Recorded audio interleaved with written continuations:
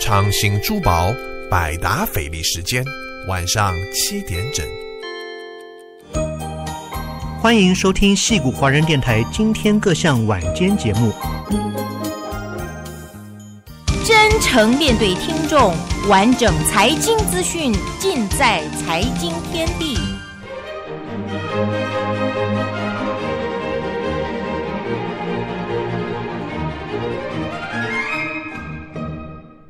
好理财是美国正式注册的投资公司，毕业于史丹佛大学，拥有史丹佛大学博士学位的张东豪，以丰富的经验为个人和公司制作、实施特定的投资计划。投资是一等一的大事。张东豪投资四面，注重回报、风险、税收、费用。要知道东豪理财如何为客户面面俱到，请来电洽询四零八六八九二五零九，网址 www dot askdz dot com askdz。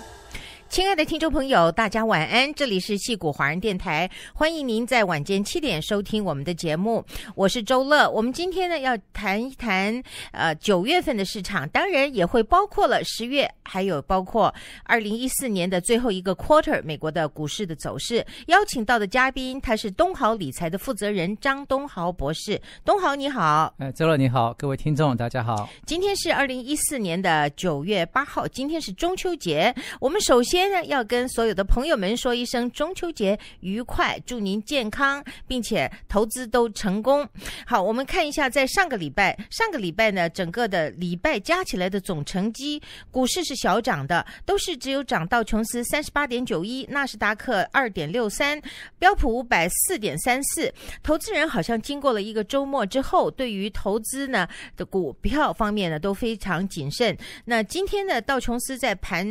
在开盘。一直盘中，然后到收盘的时候，都是呈小型的下跌，非常小规模的这个下跌。那成绩是怎么样呢？道琼斯下跌了二十五点九四，坐收在一万七千一百一十一点四二；标普五百下跌了六点一七，坐收是在两千零一点五四，跌幅是百分之零点三一。纳斯达克综合指数是唯一上涨的一个指数，上涨了九点三九，收市是在四千五百九十二点二八，涨幅呢也是非常的少，只有百分之零点二。我们首先从上个周五的 Non-Farm Payroll 的这个结果来看。呃，东豪，这个其实预计 n a f a payroll 是增加二十四万二，但是真正的只有上涨了十四万人。那么这个 unemployment 呢是还是保持在六点一个 percent，这种应该算是在经济方面是比较负面的消息。可是市场并没有反应 either way。对啊，星期五的市场基本上处于没有什么太大的变化哦。我们看到这次 non-farm payroll 啊啊，真正的数值跟预计要差很多，就是说啊，而市场却没有什么反应。如果我们我们把这个数值放到两年、三年以前，如果是两千啊两千零九年或两千一零年、两千一一年的时候啊，出现出现同样的状况。的话，那市场肯定会有会有比较大的反应，呃，肯定会有比较大的跌落。就说啊，为什么在在那个两千两千一四年啊，那放 payroll 跟预计差这么多，却市场却没有什么 什么变化？我觉得这是一个 这是一个很有趣的问题可以讨论。其实啊啊，市场已经在不同的可以说不同的周期的不同不同不同的环境下面啊啊，不同的数据有不同的会有不同的反应。就是说，那么在在两千一一年，甚至在两两千一零年两甚至两千一一年的时候啊，甚至两千一二年的时候，可以说啊啊，市场所担心的事情就是说啊，美国经济是不是因为那时候。刚刚从那个呃 recession 的情况下，刚刚从零八年这个这个呃呃金融海啸啊啊啊经济受到很大的挫伤以后啊，两千一零年、两千一年，美国经济刚刚从 recession 上面开始复苏起来，就是说那时候呃联储局还在处还在处事，还在用非常非常大的手手段来来来帮助美国经济有更好的发展，就是说，所以在那种情况下面啊，如果南方南方 payroll 是一个经济的指标就是说，如果南方 payroll 比预计差很多的话，那么投资者就会怀疑是不是是不是我们美国这个经济没有进入一个发展状况，是不是美国经济还是处在啊啊经济萧条的状况下面？就是说，所以那时候就是说，两年前、三年前，市场所担心的是美国经济是不是有发展？就是说，美国经济是不是是不是真的变别已经跛脚了？开始开始发展状况，还是还是在 recession 的状况下面呢？所以两三年以前，这是。投资者最关心的问题就是说，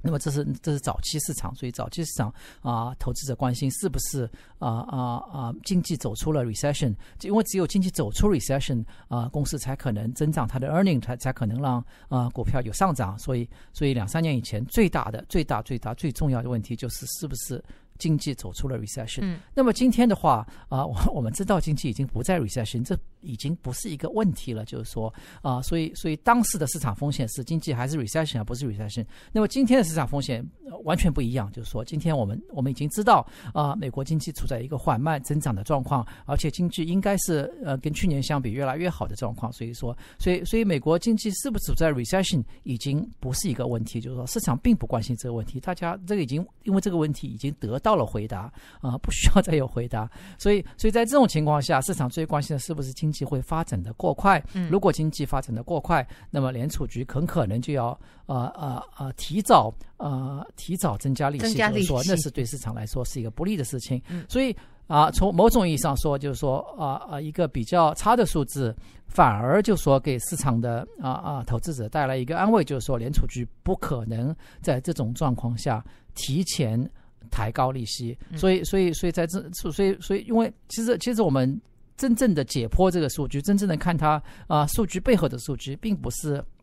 想象的那么差，因为呃，因为十四万两千跟那个预计的二十二万五千要差很多。其实，如果真的这么差的话，其实其实确实也是一个很值得担心的事情。就是说，联储局已经花了这么大的力量，啊、啊、难道经济还是这么糟糕吗？啊、所以，但是呃如果我们真正的看这个数据的话，其实也并不是一个太大的问题啊、可以从几点上可以看出，首首首先，那个 n o n f a r payroll 是啊、美国经济增加了，比如说啊十四万两千个工作，但是这个这个工作，这个你从从从这个工作不是。这增加十四万两千是是有有有有两百万人找到了工作，有有有一百八十万人失去了工作，嗯是两百万减一百八十万才得才得到两万二二十万或者是四万两千这样的数据，所以是两个很大组织减去以后啊啊、得出的一个数据，所以这个数据啊、by nature 就说你你如果学过一点统计的话，就知道这个数据的误差率是很大的，其实所以如果说正负十万人，应该都是还是 average 对对，可以接受的。从从 non-farm payroll 角度来说，至少是一个月的数字，正负十万是其实。就是是很正常的事情，因为确实两个数字很大，你一个加一个减，对不对？啊、出来的差距是肯定是很大的啊、但是所以这是一一个方面的原因，就是说，所以一个数据，一个一个啊、这样的数据，并不并不表示，并不能说明现在经济的情况，要很多要要要几个月的数据平均起来啊、才可以说明经济的情况。那么今年就是说啊、今年啊啊一月份到八月份八个月来啊，南方 payroll 平均每个月是二十二十一万五千个工作增加，就是说，所以八个月来增加了大概一百八十万个工作吧，就是说还是啊、这是这是这是一九九九年以来啊、速度最快的啊八个月，就是说，所以所以从整年的角度来说，其实其实开始的时候也不好，只是中间比较好啊啊啊，从整年的角度来说啊啊，南方配入的呃呃美国工作的增加率还是非常高的，就是说啊、这是一个方面的原因。另外一方面原因就是说，我们可以看到那个那个这个这个上 August 八月份的那个 Work Week 啊、因为美美在统计的时候啊、统计是统计里面说，呃，平均每个人工作一周工作多少小时？就是说啊、平均每人工作一小啊啊，从、上个月是三十四点五个小时啊、跟跟七月份比，跟跟去年相比是相同的，其实嗯啊、所以跟七月份相比是像八月份的数据跟七月份比相同的，所以如果真的。如果真的市场，如果真的劳工市场啊、有有有降低的情况，那么那么作为一个作为一个雇员的话，那第一个事情就是说是是减少你你你雇员的呃做一个时数呃寻找减少你雇员的那个工作的工作的时间，就是说，所以所以这个是一个也是一个很重要的数据，就是说啊、我们可以看到上个月啊、average work week 啊、并没有减少。那么第三个就是说呃啊、involuntary part time，就是说有有有还有一个数据叫 involuntary part，就是说有些美国人他他想找 full time 的工作，但他找不到 full time 工作，他只能找 part time 工作，这些人也被呃列在统计数据之内之内，就是说，然后这个数据呃呃减少了二十四万三千，就是说呃就是说有二十四万三千的人在七月份还是 part time 的工作，在八月份他找到 full time 工作了，就是说啊，这是这好消这是一个好消息，就是说，所以所以更多的人找到 full time 工作，啊啊啊，有些人想工作 full time 的，啊啊啊，只能工作 part time，在越来越减少，这是劳工就业市场的一个好消息。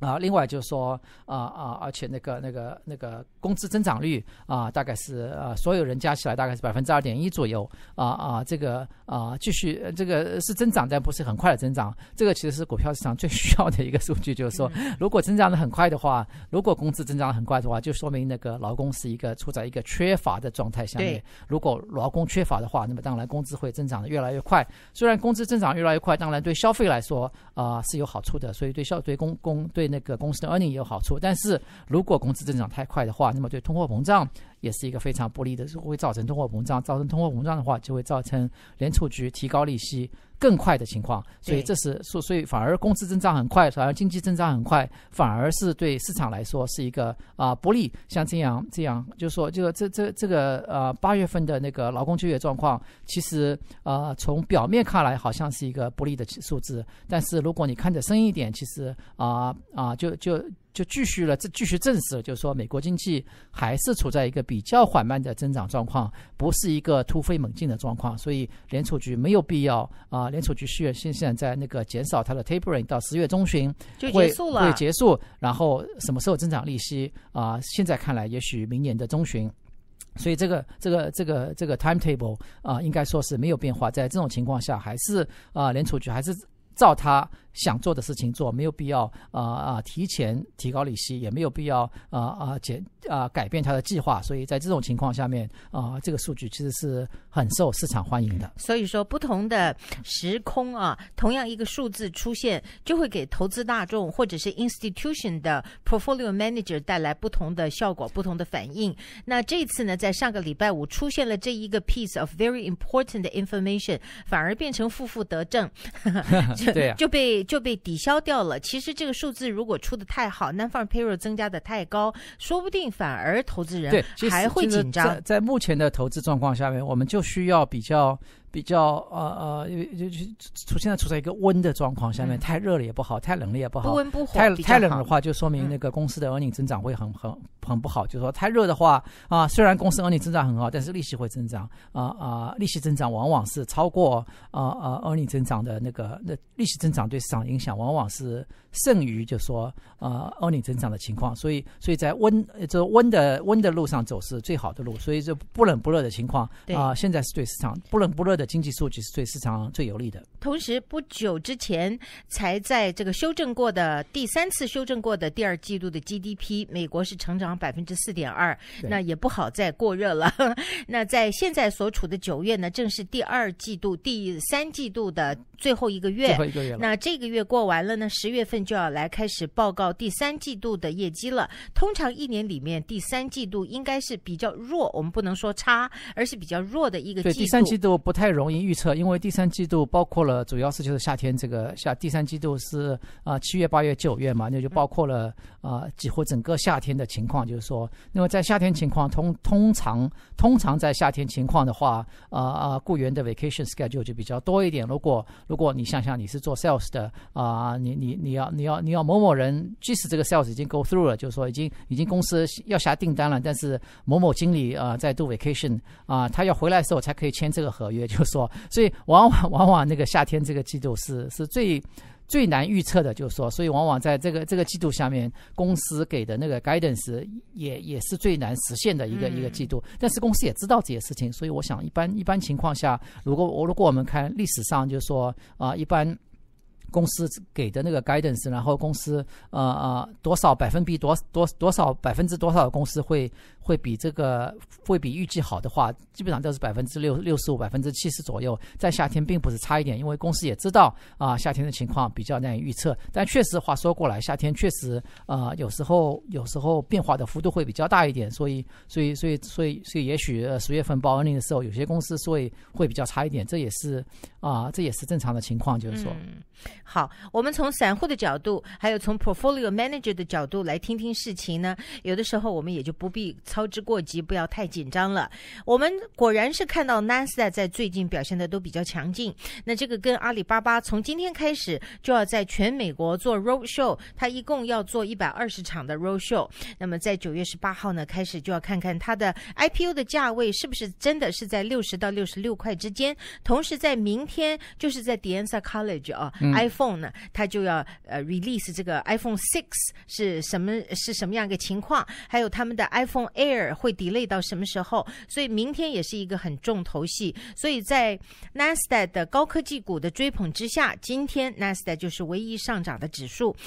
九月份多半就是在十二个月份里面排名都是掉在最下面的。那我们再进一段广告回来之后，来听听看历史上的九月。可是不是听说十月也蛮糟糕的吗？到底是怎么回事呢？还有这个如何影响到我们手中的股票，应该做怎么样的调整呢？听众朋友，休息一下，马上回来。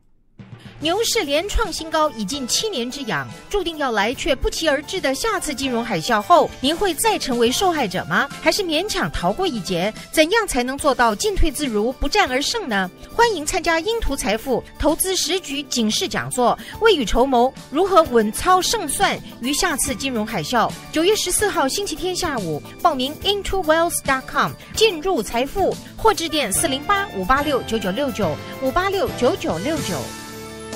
Frank 刘，加州第一，全美第一，二十八年房地产专家，经验丰富，业务范围包括住宅、商业地产、投资房、写字楼、购物中心、酒庄。国内及境外投资人士需要咨询，请致电 Frank 刘四零八三一三二六八八预约一对一面谈，或电邮至 frank 点刘八八 at yahoo.com。Trans-Pacific 泛亚财务保险公司是全美华人最大的寿险和年金的 General Agency，代理超过三十家知名保险公司，在全美有超过一千名保险经纪。公司总部位于 Arcadia，并于 City of Industry、Torrance、San Jose 及 Las Vegas 皆有分公司，提供全方位的服务、专业的培训及高佣金。泛亚一定可以让您的事业再创高峰。欢迎保险经纪加入我们的团队，电话八八八八三一八八六八。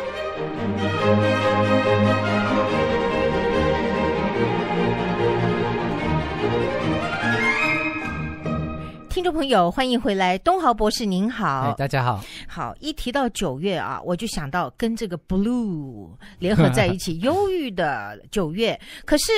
我的印象又觉得十月份都是大跌，都会发生在十月，这两个月连在一起不大妙哎。啊、一般啊，从 从历史上历史平均来说，啊、十月份还是可以的，十月份的平均还是正的，就是说，而且也不是最差的一个月。那么历史上平均啊，十、月份确实有有几次啊啊、大的跌是确实是跌在十月份，但是但是但是呃绝大多数时候十月份还是一个不错的月啊、但是从历史上到现在，就是说你看 S M P 五百啊，一九二八年到到现在，当然 S S M P 五百其实一九二一九二八年其实没有 S M P 五百，S M P 五百是一九五七年开始的。那么一九二八年的 S M P 五百是，就是说 S M P 出出出了 S M P 五百以后，它就按照它的 criteria 就是选五百公，如果它一九二八年存在的话，会会这个五百个公司，就是说，所以所以这是一个假设的情况，但是也是反映了真实当时股票情况，所以所以。啊啊啊！也也许听众朋友很很有有很有知识的说，你怎么说一九二八 年那时候还没有 S M P 五百，那是就是 S M P 五百公司 S M P 五百这个公 S M P Standard Poor 这个公司呃 reconstructed 就是说、嗯那个以前的是什么状况，就是说，所以所以从一九二八年到现在，就是说啊啊、所有的呃 September 平均回报率是负的百一一点零七，就是说啊、这个是非常、呃好像负的数字不是太大，但是这是嗯非常不寻常的，因为你想想看啊啊一一一九二八年到现在股票涨了多少多少倍，就是说啊。啊，股票长期来说是一个增长的状况，就是说，所以长期来说，它的呃，比长期来说，长期平均基本上是百分之五点二七啊啊啊，这 real return 是五点，再加上 inflation 就是百分之八到九的回报呀，啊，所以所以所以长期的回报是是是很正的正面的回报，是是是很好的数字，就是所以每年平均既然是百分之八百分之九的话，那么每个月的平均就是大概百分之一百分之二百分之零点几吧，就是说平均就是说啊啊啊，就是说。就说每个月啊一月份到十二月份啊、除了九月份以外，每个月的长久的平均都是正的，就是说只有只有九月份的平均是负的，就是说这个是啊啊、有时候一两个数据出现，很可能是一个 accident，就是说确实确实说，但但这从一九一九二八年到现在啊啊九月份的平均就是负的，就是说，而且 而且全年就这一个月嗯啊、平均是负的，就是说，所以所以还是要让，虽然有时候觉得这也许是 accident，也许是什么，但是还是要，我觉得作为投资者还是要。还是要注意一点，就是说啊、一方面啊、九月份是 夏天的结束，啊啊啊啊，种种的原因吧，我知道，就是说啊、反正九月份这个月是负的啊、而且而且就是说啊、不但九月份这个月是负的，而且我们现在现在今年是我们美国叫 midterm election，就是说不是不是总统选举，选举不是总统选举选举，总统选举的后面两后面两年，所以所以众议院啊、参议院有些啊啊，然后州啊时候有些竞选是竞选竞选竞选。竞选的年吧，就是说不是竞选总统的年，但是是竞选的年啊啊，在中级中级竞选年的话，啊九月份啊啊负的数字更高，九月份是呃呃负负负超过了，反正超过他负的更负，就是说比、哦比一般的时候还是要就超过百分之要超过百分之一点零七了，就是说，嗯所以。所以，所以中中期竞选的时候，九月份是呃尤其尤其不好的一个一个月，所以看一下政治投资者，带给我们投资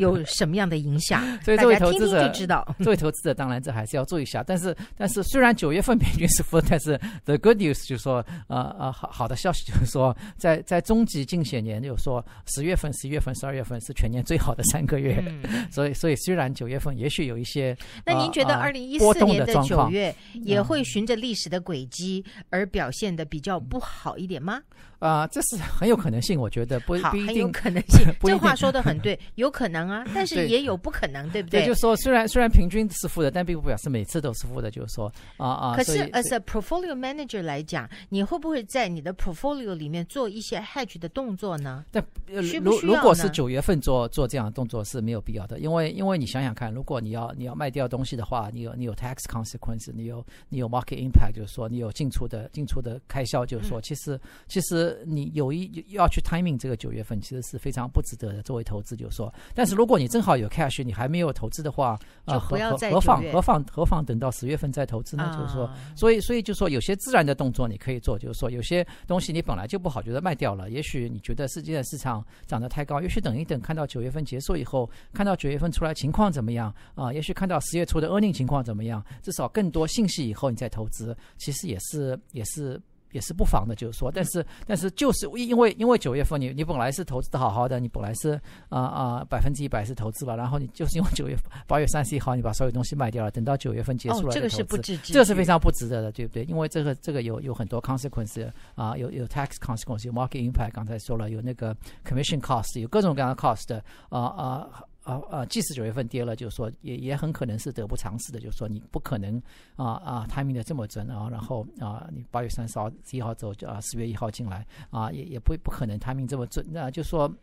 就说啊、你你你失去的东西很可能就是说啊啊，比你得到的东西要更多。即使长期的情况下啊、也是这样，因为你就这意味着你就得不到 long term capital gains，对不对？你都是 short term capital gains，所以那个税率就更高了所以这个。税率就更高，是非常不值得的。就是说，所以是所以为九月份啊、这样去投资当然是不值，但是在九月份的时候，也许也许比较小心一点，这个这个我觉得也是应该的。就是说啊、因为因为比较小心，in terms of trading 的话，或者是 investment 的话，就是不要轻易入市。就说你你你本来就有有百分之二十 cash 的，也许你就保持百分之二十 cash，你本来有百分之十的 cash 的，你本来正好有一个股票卖掉了啊、也许你九月份不买进，就是说等到十月份再买进啊、这样的这样的做法，我觉得并没有什么太大的太大的失错，就是说是啊、错的地方，因为如果市场有跌落的话，你你你有选择性，你不一定要，你可以你可以就就说，也许你很喜欢的股票，就是说也许本来就很很 fundamental 很好的，就是因为九月份啊、有什么政治的情况，有什么有什么经济的报告，有什么有什么，不管是什么情况下啊，有有些变化的话，你再买进来啊，我觉得我觉得这样这样的手段还是还是不算太错吧，就是说，因为是因为因为。因为我们知道这个 midterm election，呃，十月、十一月、十二月啊、一般说来都是都是比较好的，尤其是啊、历史上十月份啊、crash 的时候还是比较多一点，但是啊，十、一月、十二月啊、大多数大多数情况都是都是都是比较好的，所以是，啊，所以所以所以我觉得啊啊，也许小心一点点，但是也不必要做太多的太多的动作吧。好。东豪博士，我真的很情不自禁的啊，要看到其中有一项，就是美元，美元的走势呢，在一个月整整的一个月中间就上涨了百分之五。那现在我是看到它的。呃，U.S. dollar 的一个 index，在昨天和在礼拜五和今天已经是连续上涨的，当日的涨幅是非常非常的多的。比如说一个月造成五个 percent 的上涨，那其实应该是。两个月上涨百分之五，这个数字等于比买任何的 index 都要成功哈。那这个美元的上涨跟黄金的下跌，呃，原油也比较弱，这个中间它有它一定的关系。比如说现在的利息比较低，那当然美元就比较上涨一点。那这个呢，跟现在地缘政治一天紧张，一天又又缓和下来。首先是呃俄罗斯跟乌克兰，然后现在是 ISIS 这个事情，当然这个是跟国土安全有关。那这个。是或呃对投资人的心里面的 impact，跟刚才所说的这种美元啦、黄金啦、石油中间，会不会应该要考虑到我们做投资的 portfolio 的设计？要考虑到一部分美元啊，美元太强的话，一般造成如果如果国际很多很多公司有国际的国际的 earning 的话，它。它换成美元以后就会比较弱一点，所以所以这个美元的美元特别特别强的话，直接影响到公司的利润，公司利润增长率。其实其实美其实这我我我很高兴你提到这个问题。其实啊，基本上这这这几年来最好的市场都是在美元比较弱的情况下，市场情况比较好，在美元啊或者。不一定要比较弱，至少是 fly，至少跟其他欧元相比没有什么太大变化的话，啊啊，市场会比较好。美元美元太强，其实对市场是一个不利的因素，就是说这是一个其实值得投资者关注的因素啊。美元这这这段时间比较强，我这这其实主要的原因就是利息的原因，跟跟国际政治的关系是少部分，跟利息的原因是大部分。你看日本啊啊，利息当然是非常非常低的情况下，而且也在开始执行一些量化宽松的政策。那么欧洲可以说是量化宽松宽松政策刚刚开始，可以说啊，日本的那啊不。是呃，欧洲的那个那个那个 Mario Draghi 啊，他他他他决心很大，就是说欧洲的利息，银行的利息是负的。我们看到呃，德国的那个国国库券的利息非常低，甚至西班牙国库券的钱都比美国低，就是说，所以这个造成欧元比较弱，美元比较强。然后我们看到英国英国那个苏格兰跟。苏格兰跟那个英国有有要要独立的倾向。苏格兰在下个星期，好像是下个星期有一次选举，就是说啊，是不是要要从英国独立出来？英国其实苏格兰跟英英国本来啊，以前中世纪是独立的国家，就是说啊啊，英国曾经是罗马的国，罗马的一部分，苏格兰从来不是罗马。反正两个文化是其实是是有很大区别的，所以所以所以所以最近在闹呃苏格兰在闹闹独立状况啊，就闹了独立以后，那英镑当然也跌了，因为苏格兰独立以后，他用他不用英镑了，他可能用其他。货币了，对不对？所以，所以这个对英国也是，也对英镑也是不利。所以英英镑也跌了，呃，欧元对美元也跌了，日元对美元也跌了。就说这，所以啊啊啊。这个利息都有关系，因为因为全世界虽然美国利息很低，虽然美国我我们可能觉得美国的债券市场是一个呃泡沫的状况，但如果美国是泡沫，那么那么欧洲是什么呢？欧洲是更大的泡沫，就是说，所以所以所以我们看到，其实欧洲市场的啊啊，因为量化宽松而造成的 distortion 就给市场造来造成 distortion 比美国要大得多。如果如果其实所以所以从从从美国从从全世界的那个投资角度来说啊，其实还是还是还是美美国的房子，虽然美国的美国的。房子还是最漂亮，可以说。哦呀，对对对，那我们戏谷湾区的气候也好，房子也漂亮，所以我我的我的意思，房子经济状况就是说，OK，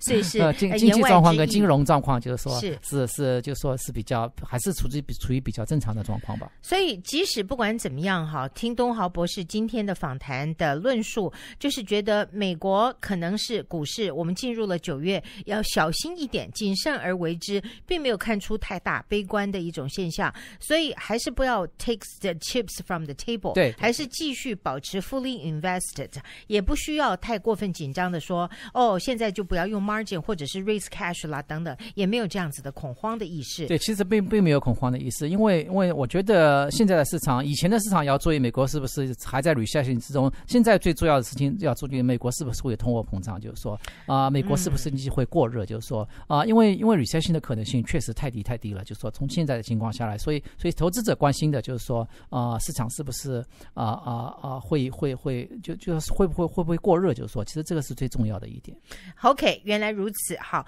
所以我们做了一个正本清源的一个观念，所以并不要因为今年的股市并没有超过百分之十以上的 correction，就认为哎这个 correction 可能马上就呃在眼前，但是我们只讲了呃九月份，但是十月呢再看看那个时候的情况，还有看看九月美国股市的走势，我们再来研究一个月一个月的来算，反正二零一四年只剩下四个月了哦，今年实在是过得非常的快。东豪博士再度感谢你在中秋节的晚上来接受我们的访谈，感谢。好，谢谢。好的，听众朋友，如果您想要找东豪博士预约一个 appointment 的话，电话号码是四零八六八九二五零九四零八六八九二五零九。我们上半场的节目结束，休息一下，请收听下半场的访谈。我们是谈一个消费新资讯的单元，马上回来。东豪理财是美国正式注册的投资公司，毕业于史丹佛大学，拥有史丹佛大学博士学位的张东豪，以丰富的经验为个人和公司制作、实施特定的投资计划。投资是一等一的大事。张东豪投资四面，注重回报、风险、税收、费用。要知道东豪理财如何为客户面面俱到，请来电洽询四零八六八九二五零九，网址 www.askdz.com askd dot 两千零七年底，我们的一场市场分析讲座，让上千的家庭避免了零八年的金融浩劫。在牛市连创新高已近七年之痒的今天，您愿意提前聆听我们的及时嘱咐吗？欢迎您参加英图财富投资时局警示讲座，未雨绸缪，稳操胜券于下次金融海啸。九月十四号星期天下午两点，报名 intowealth.com 进入财富，或致电四零八五八六九九六九五八六九九六九。董燕杰房地产经纪 Maxreal Cupertino，董燕杰服务硅谷十二年，从 Saratoga 到苗碧达，从 Palo Alto 到圣荷西，董燕杰专业诚信，卖屋上市一点五 percent，电话六五零八六七一二四八八六七一二四八，董燕杰执照号码零一三七七九二三，Rebecca Lin 房屋买卖团队房源充足，买方遍及全球，专业的服务让您省心省时又省钱。Cupertino 学区屋源源不断，免费咨询请致电 Rebecca Lin 四零八七二零六八零零。戏骨华人电台各项节目，除了在 SVC Media net 网站重复收听以外，我们的节目也放在 Facebook、YouTube 以及新浪微博中。您只要搜寻 SVC Media 或是戏骨华人传播公司，就可以找到我们的精彩节目内容，让您随时随地都可以享受 SVC。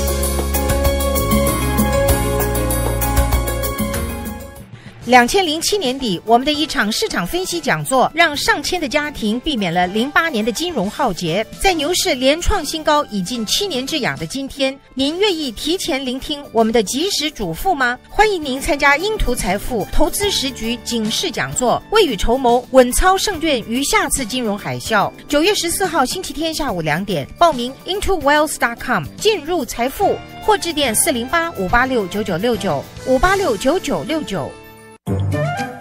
山景城老赵川菜馆八月全新菜单隆重推出：红烧肉、毛血旺、大盘鸡、水煮牛、酸菜豆花鱼、四川凉粉、麻婆豆腐、招牌口水鸡、炝土豆酸辣汤、担担面。夏日炎炎，一瓶啤酒，两碟小菜，三朋四友相聚。老赵川菜馆地址四百号 Mountain Boulevard Mountain View，电话六五零二六二九七二八六五零二六二九七二八。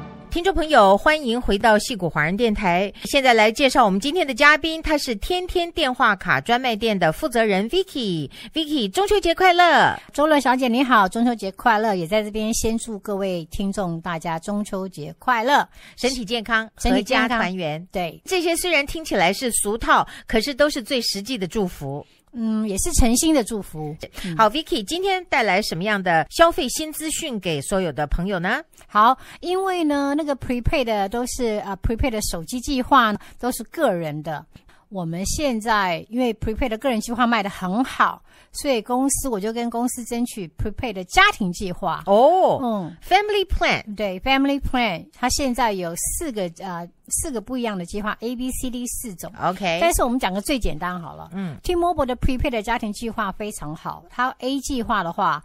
四条线一个月才一百块。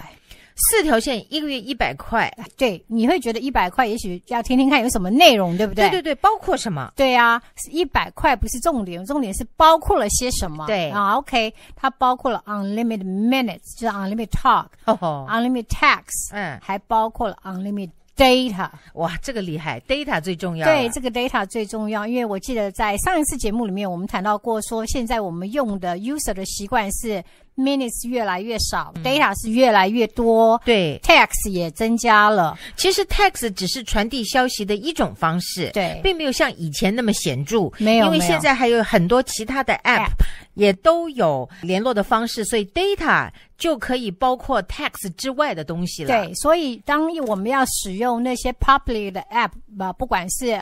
WeChat 啦，或是 Line 啊，或是 WhatsApp，或是 QQ 的话，我们都是需要有 data。所以 T-Mobile 它很大方，它给家庭计划是 unlimited data，但是它有一个弹书，它的弹书是说每一条线，如果你是三条线的话，你每一条线每一个人头一个 gigabyte 是 4G LTE 的 speed 上网的速度，但是你还是有 unlimited data。当你超过一个 gigabyte 的时候，就给你三 G 的速度。嗯，可是基本上三 G 我觉得也够了啦。因为如果是用只是你的 target 重点都是用在 app 上面，三 G 速度是绰绰有余了。嗯，因为美国三 G 速度也是很快。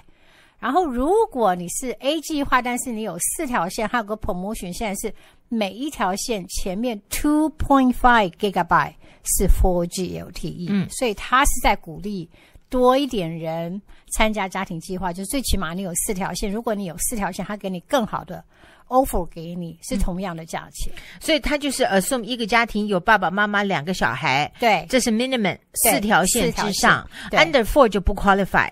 Under four，他还是给你 unlimited data，只是他的 first one 只是前面的 one gigabyte 是 four G，嗯，那如果四条线前面的 two point five gigabyte 是 four G，I see，对 OK，差别是在这边。所以至少四条线以上，它的它的 zone 就包括的比较大一点啦。对，它上网的前面的有多一点五 gigabyte 是 four G LTE，但是永远都还是有 unlimited data，并不是因为说哦。三条线或四条线，三条线只有一个 gigabyte data，是还是它那个计划永远都是 unlimited data，这是非常 amazing 的事情。因为你现在去任何公司找，很难找到家庭计划给你 unlimited data。So far 我没有看到，是，对，嗯，就是比较大的公司了。所以现在听起来这种 unlimited unlimited 听起来 very very beneficial。事实上，人家也已经 figure out，现在很多都喜欢用无声的联络，所以 unlimited telephone 也许是做生意啊、谈事情不得不用电话，所以他给你 unlimited，他觉得你也不会 abuse 多少 usage 嘛。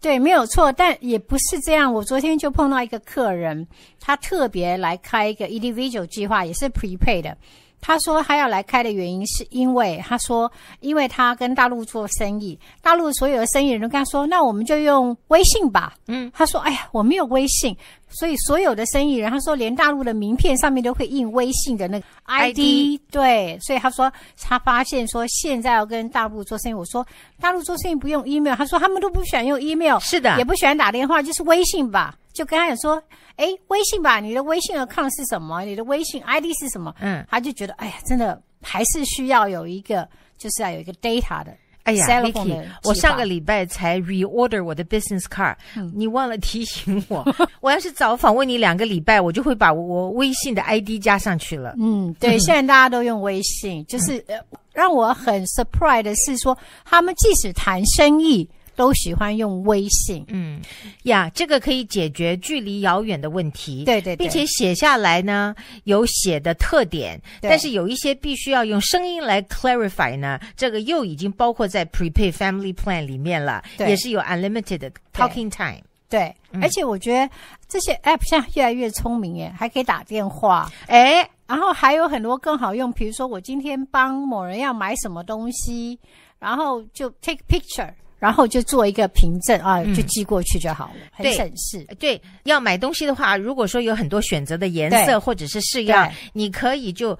干脆用 video，他当场就可以选。对我们最近因为在北加州华人传播媒体协会的呃要进入呃比较 rehearsal 的时候，嗯所以常常都有事情要彼此商量，结果就有人。呃发起呃 talking time，、还有 video time，嗯居然我们这个群里面有七个人，里面只有两个知道，其他五个还不知道呢。我本来以为不知道的应该是我，结果不是我是别人呢。OK，那你应该去 proud for yourself。呀，这个实在是很实用哦，这样会非常实用这样会不会让电话公司也生意被抢走了很大一块？呃，在呃电话长途电话卡这个部分，生意是被抢走了一块，嗯它是没有错，但是没办法，因为这是市场的趋势，所以他们就不断的在进步，对所以没有办法。所以这些 carrier 现在也要随着趋势走，所以就进入到 text 啦、data 的这个领域。对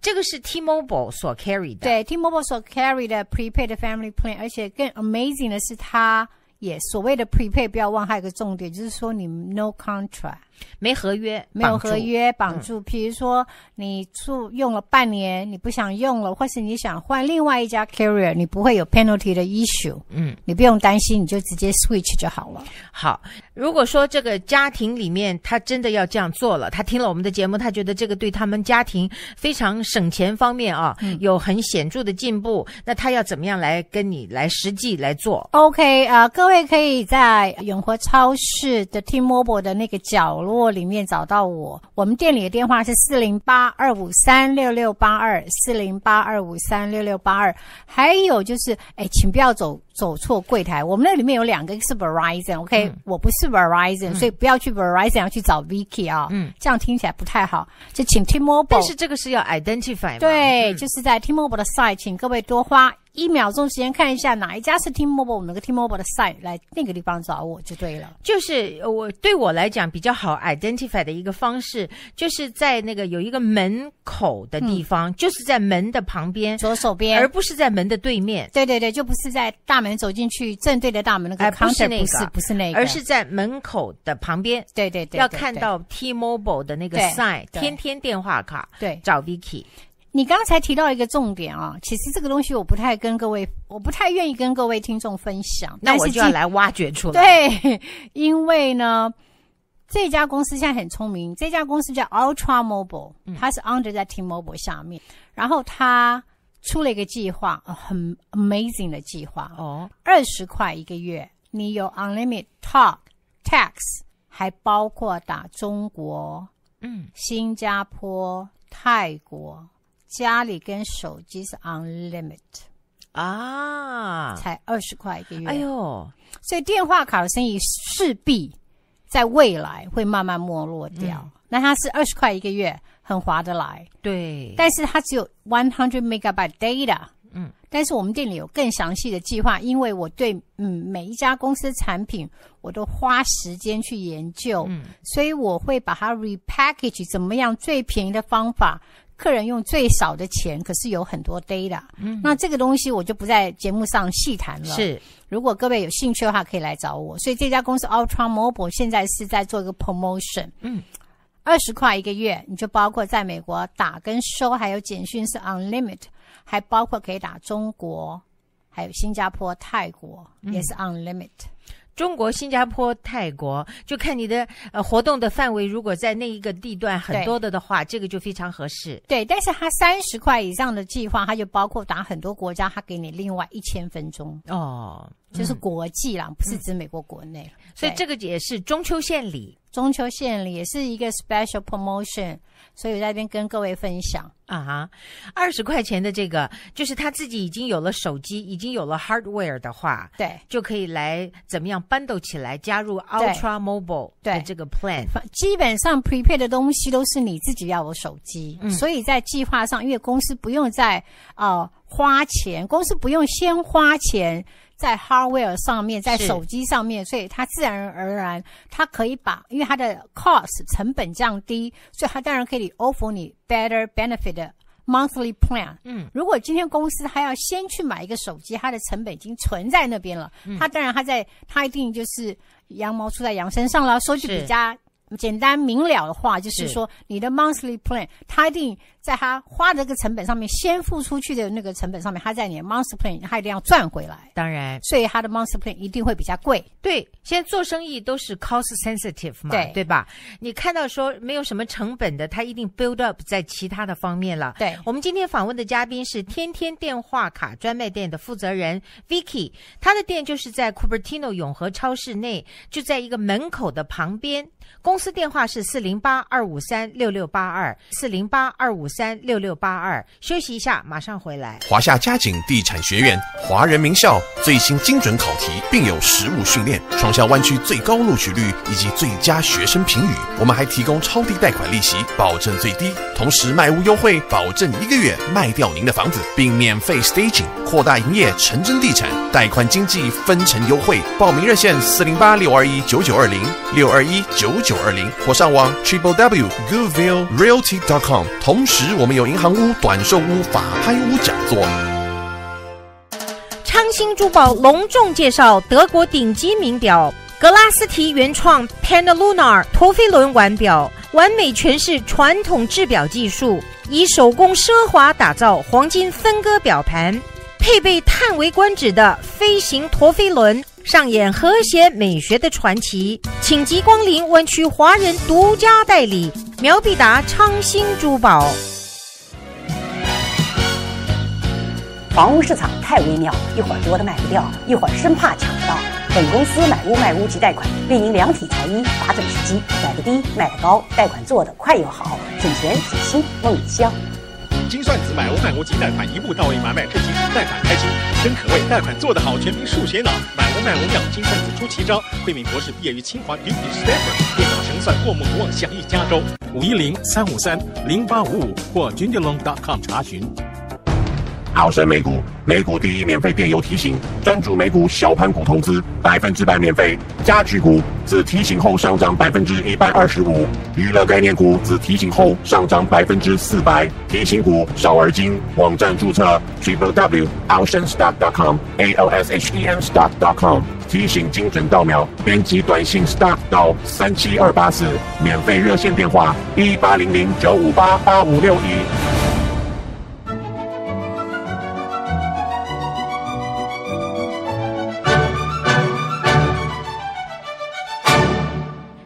友，欢迎回来，Vicky 你好。周乐小姐你好，各位听众大家晚安。讲完了刚才的 T-Mobile 的 Prepaid Family Plan，现在要讲的是中国手机预付卡。对对对，因为这个产品很多客人问，那我想利用今天这个机会呢，把它再稍微详细的解释一下。请详细解释。好。好，我们来详细解释一下，跟大家分享中国手机预付卡呢。它这个产品是专门针对我们这些从国外人去中国，不管你是去 business trip 还是去玩旅游的人都可以。因为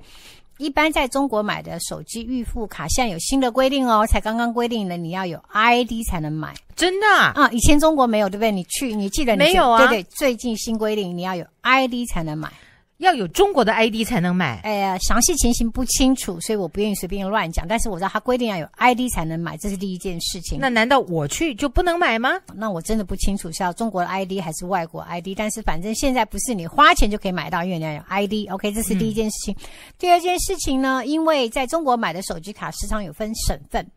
绝对的城市，绝对你有过经验。对对对，比如说你在上海或北京，嗯特别便宜，可是你出了上海、北京是怎么样？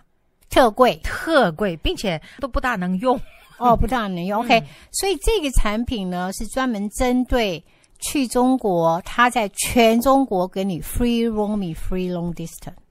哦，OK，就是没有分省份、分城市。好，不管你今天在中国，你在上海、在北京，你一张卡走走遍中国。嗯，而且它还有一个很好的东西，它这张卡在香港也可以用，在香港是 free，也是你在香港它也是可以接收，你也可以 roaming。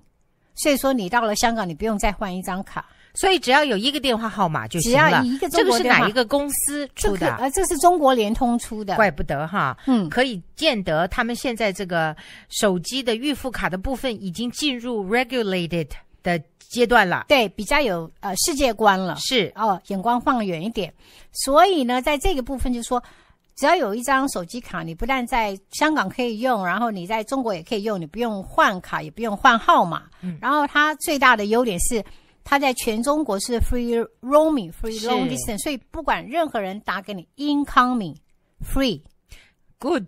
然后 incoming text free，啊哈，但是你要寄 text 要钱，是。你要打电话要钱。嗯，他打电话，不管你打中国哪个省份，不管你人在哪个省份，两毛九人民币一分钟而已。嗯，而且它是没有期限，只要你有 keep 你的 balance 在你这张手机卡的号码里面，你这张卡永远是有期限，不会 expire 的。不会 expire 的。那在这之前买的可能都会 expire 掉了。因为中国它的手机卡预付手机卡好像有两年的期限，嗯，就我所知好像是两年嘛。比如说你没有钱之后，你大概多久两年就没有效。可是这张卡只要你有 keep a balance 有放有剩余一点金额，它都会一直让你一直有效。这个是在中国境内也可以买，但是现在在美国就可以买。这个在中国境内买不到。这个产品是专门给国外的人出要回去的要回去、要去访问中国，或是要去中国旅游，或是要去中国 business trip 的外国人使用，所以它才会有全中国的 free roaming 跟 free long distance。嗯，对，比如说到了天天电话卡来买，他现在你要求的是他需他需要出示 ID，不用，他只要给我，因为我们这些所有我们手上现有的手机卡都已经有了现成的号码，嗯，所以很方便。就是说你在还没去中国之前，你先有了手机号码，你可以先 email 或是微信或是 WhatsApp、QQ 告诉你在中国所有亲戚朋友，OK，我几月几号会在中国。然后我的手机号码是几号？你们可以用那个用那个跟我联络哦而且它还有一个很大好处，即使你把这张中国手机卡放在美国的手机里面，即使你人在美国，你还是可以收中国的简讯是 free 的，嗯，中国寄给你的简讯是 free 的。哦，OK，对对对所以你的意思就是说。在人在美国，就是我们可能会有超过一个以上的手机了，对，就是一个一直保留是中国的那个系统的，对就一直不停的在收，因为都是 free 嘛。对，incoming text 都是 free 的，所以那你打出去就 maybe 你可以用你美国的手机的方式打出去。对，也许你可以用美国的 app app 的方式去跟人家联络，或是用美国的手机去 text。你要用中国的手机，这个手机去 text 也可以，它不是不能，只是因为它是 roaming 稍微贵一点，它不是不能。这个会牵涉到 international 的 roaming，嗯，对，这会牵涉到 international roaming。明白？那这个怎么买法？哦，这个也是在我们店里买，只要有钱就可以买了。嗯，那就是买一个号码，然后在里面充值，是不是？，对它啊、它是我们有现成的号码给你，嗯，然后呀，卡也可以有大小卡，就是我们可以帮你免免费剪你需要的 size，、因为手机有不一样，有 micro SIM，有 nano 或是 regular 的，我们都可以帮你做这方面的服务是免费的。如果你跟我们买那个中国手机预付卡的话，还有就是。很多客人问我充值怎么办，它它上面它的那个说明书上面写的很清楚，你在中国的时候就可以充值。哦，很方便，你嗯可以经过电话啦，或是中国联通的当地的门市，你就可以去充值。哦 OK 对 OK，我在中国的时候曾经跟有一个人联络，结果我说哦，我知道他要会跟我讲很久，我就说哎，我这里头的值已经不多了，可能你要打电话到我的旅馆来。他说，请你挂掉。我帮你充值，结果我就挂掉。过了一下下，他说他在他的那个 end 就已经替我的手机充值了。也可以这样，也可以这样。啊所以他只要你的手机号码，所以因为中国联通在当地的门市部很多，或是你可以经过打电话在中国当地打电话充值都可以，哦，这没有，这不是问题的。啊，那个时候我觉得他好神呢、只是我们只是不了解当地的 culture，所以很多东西不了解，所以我们就相对就觉得，哎，某些人很有办法。哎，对对，我对，就这句话，我觉得他好有办法，这么年轻，这么有办法。对 OK，好，那这又是一个方便的方式了。对这个以前是没有的。这以前没有，因为我一直跟我一直跟一家大公司谈，我希望有这样的产品。然后我现在也跟台湾谈，希望有台湾的手机预付卡，希望在未来的日子里可以帮我们美国的消费者争取到台湾手机预付卡，这个是有点困难度，因为台湾的手机预付卡呢要两个 ID，啊，要两个 ID。哎，我想想看，我去台湾买的时候，它是对，的确是它要两个两个 ID 两个 photo ID，对，而且它有一个 ID 是一定要身份证，有一个台湾身份证，台湾的身份证，然后另外你可以配健保卡啦，或是驾照啦，或是护照，但它 requirement 一定是台湾他们很严格的哦。非常严格。所以在这个部分呢，所以恐怕要就是 long way to go，我还要跟公司再谈。对。嗯，对要能够证明他有两个 ID 的话，对，恐怕就是我们有个变通方法，就是希望说他在美国提供两个 ID 或提供一个 driver license，然后我们可以我们把这个资料要传回给台湾的手机这些公司、手机服务公司，然后有可能有这种变通的方法试试看，可以不可以？刚才你提到的中国手机预付卡，那它这个 dollar amount 啊，嗯，在这里买跟在中国买是贵一点吗？呃，问题是你在中国买不到这个产品啊，嗯因为你在中国买的并没有全中国是 free roaming、free long distance。如果你要在中国买这样的产品，你付的钱一定比在美国买这个产品还要贵。嗯，对，明白。因为在中国买都是 以当地的城市啊，或县市或是省份为主嘛。对比如说你出了上海市，你去到别的地方，你去到南京，得另外买。你很贵，因为是 roaming。对对对对，好，谢谢你解释。接着呢，我们就要来看，在明天 iPhone。Apple 就要开始来 release 它 iPhone Six，还有它 iWatch 的这个大新闻了。对在这方面有哪一些讯息？So far 是已经可以跟我们共享的呢？OK，so、far 我们大家都已经知道，它这次出来的 iPhone Six 一定是四点七的 inch，嗯，嗯，它的屏就大小是四点七 inch，是，但是一个手掌还是抓得住。还是抓得住。OK，因为我很多客人并不喜欢太大的缝，尤其是男生。因为他们觉得太大的缝有时候放在口袋啊，或者是放在西装外套或衬衫口袋不是那么方便。嗯，而且他们觉得一只手可以 control 也蛮好的，嗯，不见得要用两只手。所以每个可见 user and user 的习惯是不一样的。对，iPhone Six 它的 hardware so far 呢，我们就跟各位分享一些。嗯，好，它基本上它前面的 camera 镜头呢换成三百 megabyte，就是三三百万像素 OK，three megabyte pixel，高了很多。高了很多。然后后面更高，后面有一千两百万像素。哇，这么高！对，它在市面上最高的是就是一千两百万了吧？so far 应该是、嗯 so far，但是它的啊、解析度呢又变更清楚。是，他现在好像是大概是两千多还是三千出头，但是他现在新的听说是在五千四到五千六之间。照相实在是任何的 smartphone 里面很重要的一个功能。嗯因为现在大家很喜欢照相，然后又很喜欢跟大家 share 啊，像我们家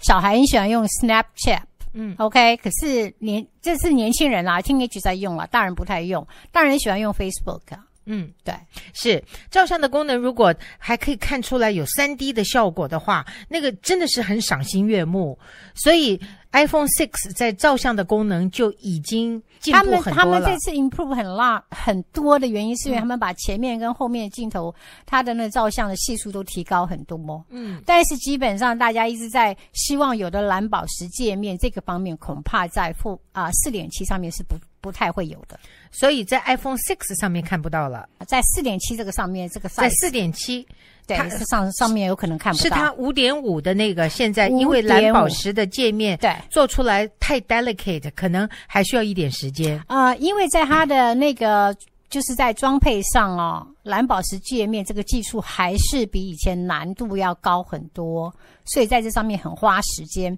而且蓝宝石界面这个这个这这一块的这个材料哦。市场上不是很多，嗯所以跟有一个股票不是跟 Apple，它就是蓝宝石界面也涨了很多吗？是，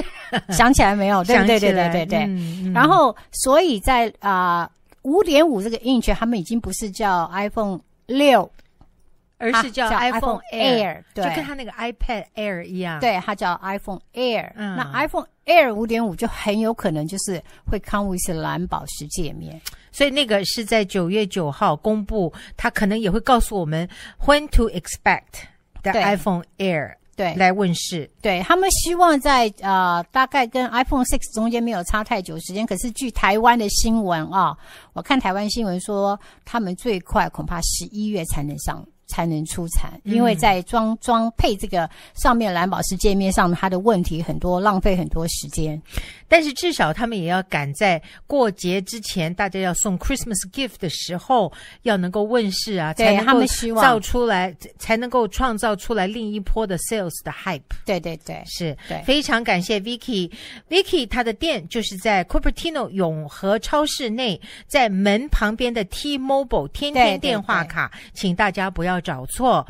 公司的电话号码是四零八二五三六六八二四零八二五三六六八二。